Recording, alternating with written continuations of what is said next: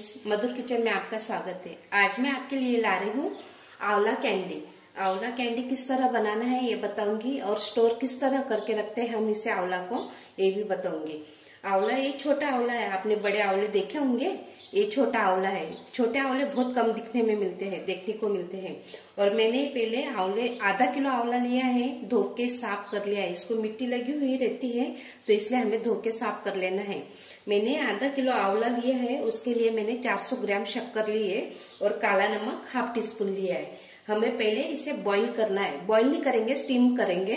तो हमें 10 मिनट के लिए स्टीम करके रखना है। तो हम गैस को ऑन करेंगे। देखते हैं किस तरह बनाना है। गैस को ऑन किया मैंने। एक कढ़ाई ली है कढ़ाई के अंदर पानी और रिंग और उसके ऊपर मैंने एक छन्नी रखा है। अभी आवलों को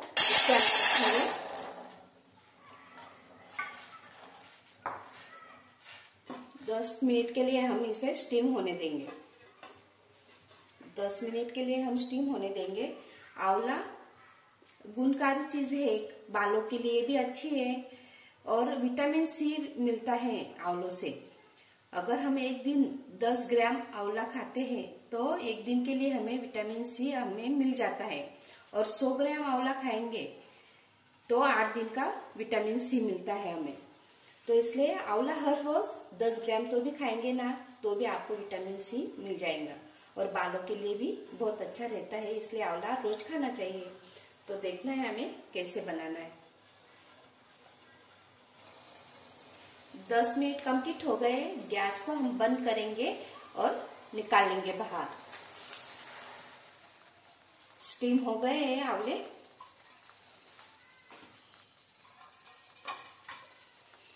आंवलों को बाहर निकाल लेंगे इस तरह।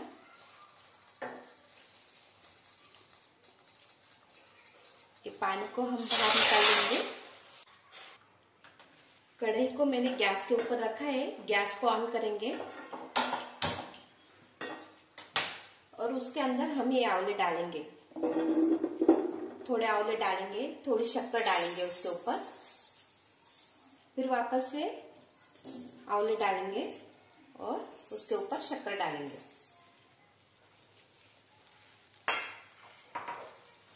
और इसे तरह हमें मिक्स करना है।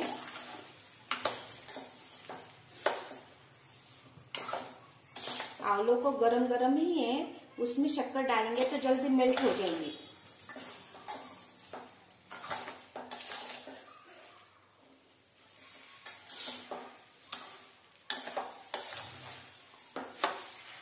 इस तरह मिक्स करना है उसे।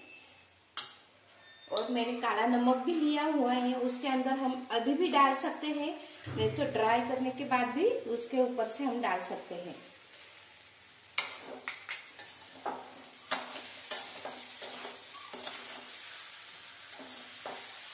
फ्लेम को लो ही रखेंगे।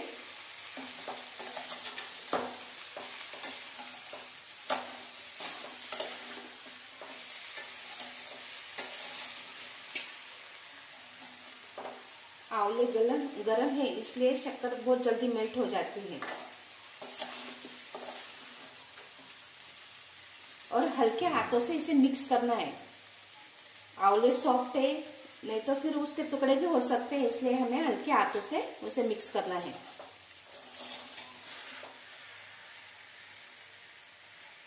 इसे आप धूप में रख के भी बना सकते हो। और इस गैस पे भी रख के बना सकते हो। गैस पे रख के बनाएँगे तो जल्दी हो जाएँगे और धूप में रखेंगे तो फिर दो तीन दिन लग सकते हैं। जब तक शक्कर मेल्ट नहीं होती, तब तक हमें धूप में रखना पड़ता है और गैस पे तुरंत काम हो जाता है।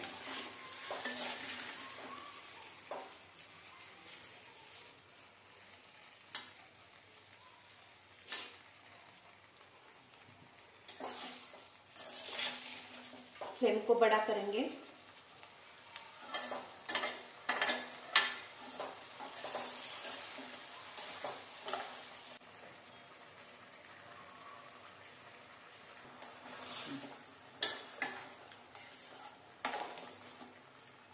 शक्कर भी मेल्ट हो गई है।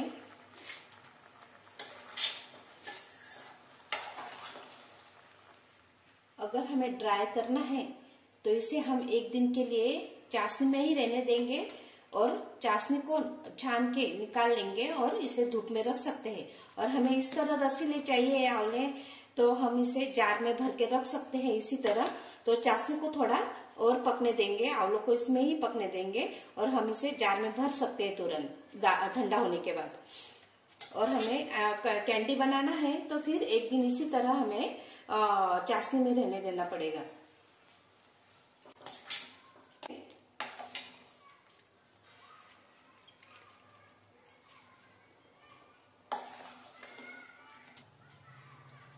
शक्कर भी मेल्ट हो गई है।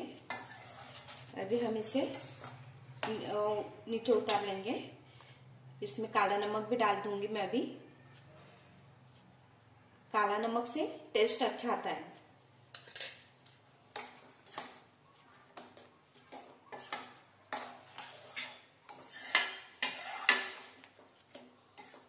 मुझे इसकी कैंडी बनाना है, इसलिए मैं एक दिन के लिए इसी तरह रहने दूँगी। फिर आपको बताऊँगी कि किस तरह करना है। गैस को ऑफ़ कर दूँगी। एक दिन के लिए मैंने आंवला इसी तरह रखा हुआ था चाशनी में। अभी हम उसे चाशनी को निकाल लेंगे इस तरह।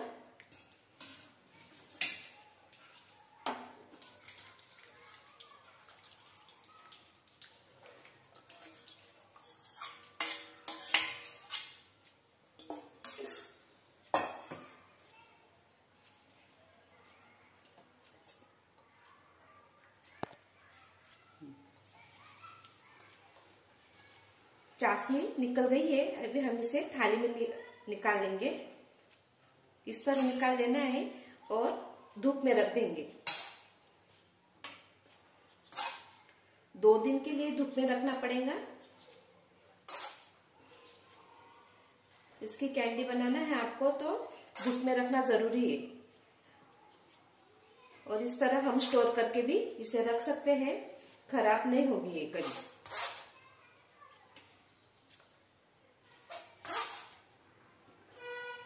ये सूखने के बाद हम इसे जार में भर के रख सकते हैं। इस तरह हमें थाली में अच्छी तरह से रखना है। इस तरह अलग अलग करके रखेंगे ताकि जल्दी सूख जाए। कड़ी धूप में रखेंगे ना तो दो दो दिन में भी अच्छी तरह से सूख जाएँगे वो। और सोखने के बाद आप चाहो तो पीठी शक्कर भी इसके ऊपर से डाल सकते हैं। इस तरह से हमें धूप में रखना है और दो दिन के बाद आप जार में भर सकते हो। तो आज की मेरी छोटे आंवले की कैंडी किस कैसी लगी? Nice. मेरे वीडियो को लाइक शेयर और सब्सक्राइब ज़रूर करें। जिन्होंने अब तक मेरे वीडियो को सब्सक्राइब किया है वो सब्सक्राइब ज़रूर करें। फिर मिलते हैं अगली रेसिपी के साथ। बाय